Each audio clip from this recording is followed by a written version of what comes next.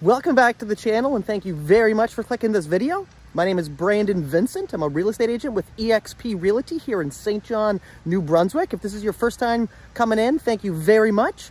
Um, today's going to be a little bit different of a of an episode. It's going to be a little bit of a run and gun because here in Saint John, we just had a nor'easter all day yesterday. Started in the morning and uh, didn't finish snowing until probably about 11, 11 p.m., like right around midnight. And uh, we we got about 30 to 40 centimeters. And I want to take you around Saint John and show you what what the city looks like with a fresh fall of uh, of snow. So come along, let's go. Uh, let's go see.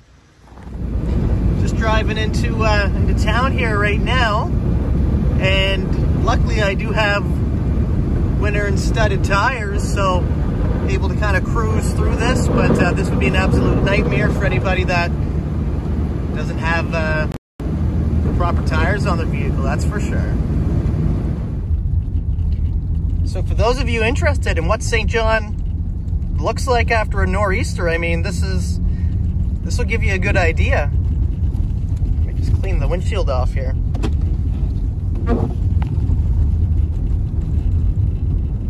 You know, like,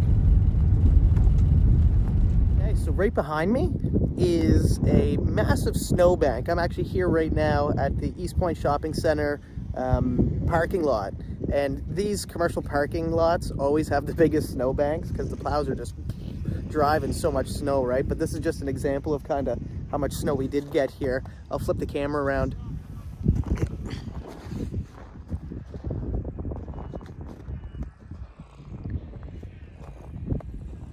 It's a bus stop right there.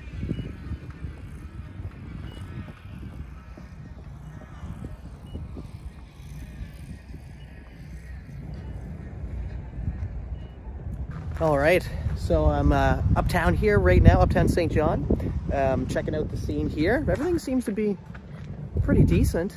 Um, you know, all the plows obviously got rid of the snow very, very well. Like I said, it just, we got about 40 centimeters here within the last 24 hours. And uh, actually I strategically placed myself right, uh, right in front of a comedy club that I sponsor here in Saint John, Punchlines Comedy Club. Absolutely amazing, amazing spot.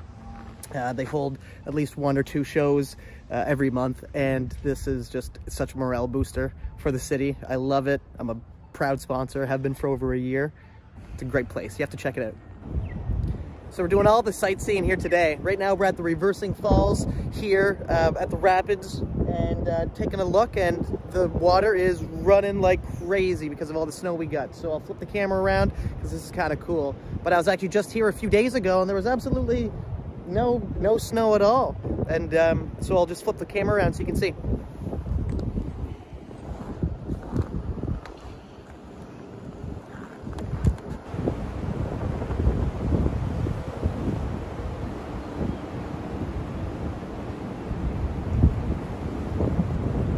So the roads have been a little slick so far. Um, and that's all right. Just got to drive with a little bit of caution highly recommended obviously to have winter tires this time of year uh, studs go a long way in this in this type of uh, in this type of weather. St uh, studs on the car, or sorry, on the tires.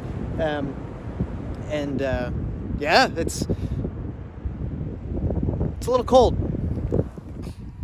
So here now, back on the east side, um, at a uh, subdivision that I've been working with um, with RJ Scott Homes and myself and um, my business partner in real estate, Mario Ciccoloni, who uh, him and I both work with an amazing developer and builder. Uh, RJ Scott Homes, have been around for a long time, and they built uh, actually all of this, all of this subdivision here.